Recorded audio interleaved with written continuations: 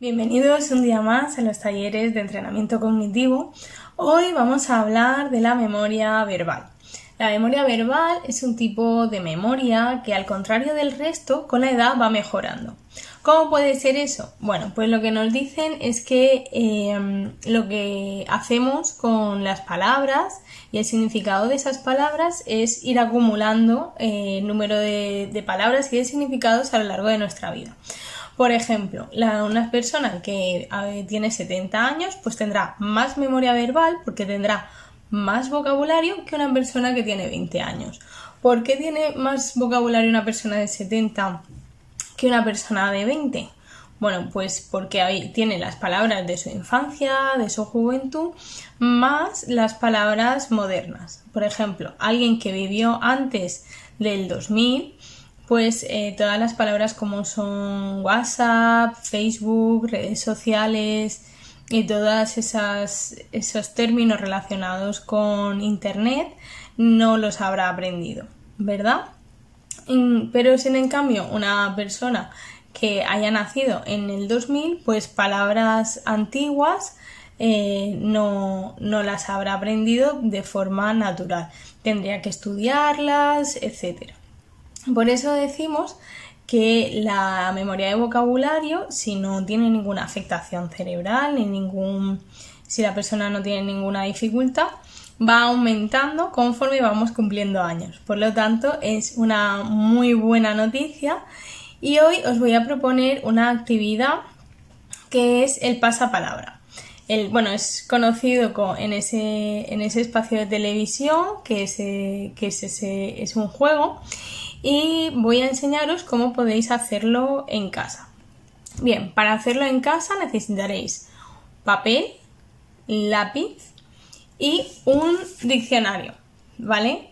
Bueno, yo tengo este que de, cuando iba al colegio y los que no tengáis diccionario pues podéis buscarlo por, Google, por el móvil, ¿vale? En redes en, en internet. ¿Cómo lo vamos a hacer? Bueno, vamos a hacer una cuadrícula parecida a la que estáis viendo aquí. Entonces, en la primera columna vamos a poner una letra, ¿vale? Por ejemplo, vamos a poner la letra A y vamos a poner la definición de eh, la palabra que queramos, ¿vale? Para eso la tenemos que buscar en el diccionario.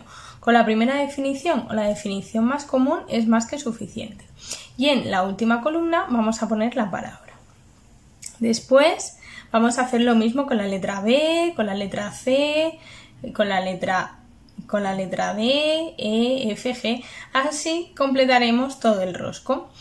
¿Cómo lo vamos a hacer? Bueno, pues una vez que yo tenga mi, mis palabras, o sea, mis letras con mis definiciones y mis palabras para corregir, se las diré, le diré las definiciones a mi, a mi contrincante, ¿vale? Por ejemplo, amigos, alguna amiga o a mi pareja o a los nietos, a quien queráis, ¿vale?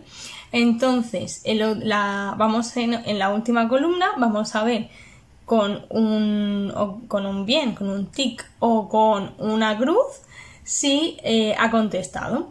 Además, nuestra pareja nuestro, nuestro contrincante hará lo mismo. Con, una, con, una, con un tic o, o con una cruz, verá si nosotros hemos acertado su palabra o no. ¿Vale? Es un ejercicio muy sencillo que podéis hacerlo. Nosotros la semana que viene eh, lo, os, jugaré, os prepararé un pasapalabra para, para hacerlo aquí. Es un vídeo que durará un poquito, un poquito más porque bueno, son muchas letras, pero creo que es muy interesante para trabajar todo el tema de vocabulario, ejercicios, etc. Además es algo divertido. Otra versión del juego de pasapalabra sería inventarnos nosotros nuestra propia definición. Pero ahí también, eh, bueno, pensamos bastante, hacemos como un recuerdo de significado de palabras pero claro, muchas veces mm, lo que para mí es eh, lo que significa esa palabra no tiene que ver con el otro. Digamos que es un juego más difícil y, bueno, puede llevar un poco a controversia, pero es igualmente mm, significativo para trabajar la memoria eh, verbal. Otra cosa importante también que trabajamos mientras buscamos en el diccionario es la atención, porque mientras buscamos es la palabra, por ejemplo, si quiero buscar con la A, agua, pues em, puedo, tengo que ir viendo, ¿no? Dónde está en el diccionario, voy leyendo otras palabras y todo eso además va aumentando mi memoria de vocabulario y va mejorando mi atención, porque tengo que estar muy centrado en las palabras.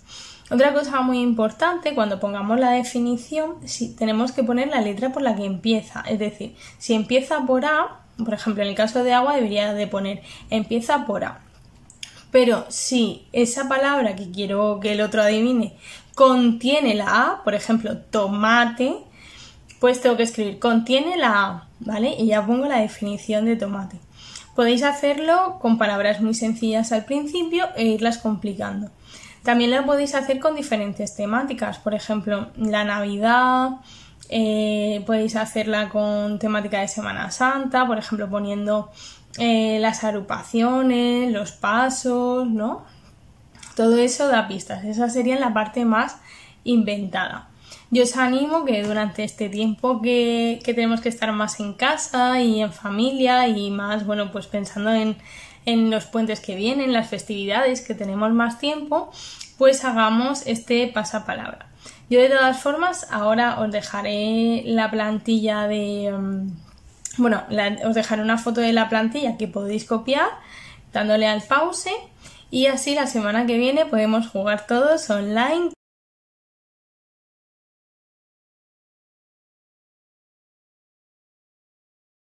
Espero que os haya gustado el vídeo y que paséis muy buena semana.